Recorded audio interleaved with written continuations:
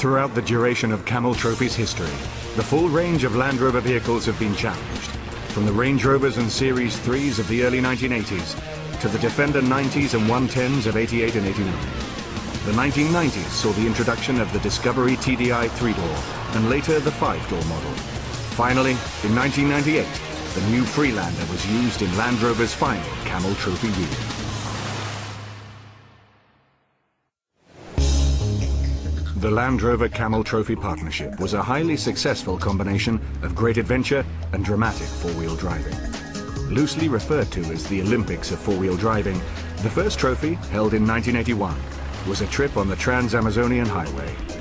It was undertaken by a group of Germans in Jeep CJ6s.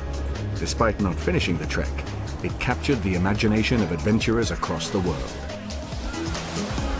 This program follows the last 10 years of Land Rover's involvement in Camel Trophy.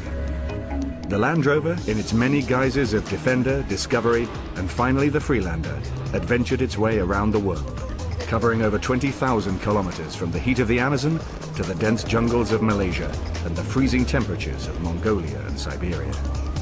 However, by 1998, the focus had drifted away from the vehicles and towards special tasks, such as kayaking, orienteering and mountain biking. This was to be a turning point for Land Rover.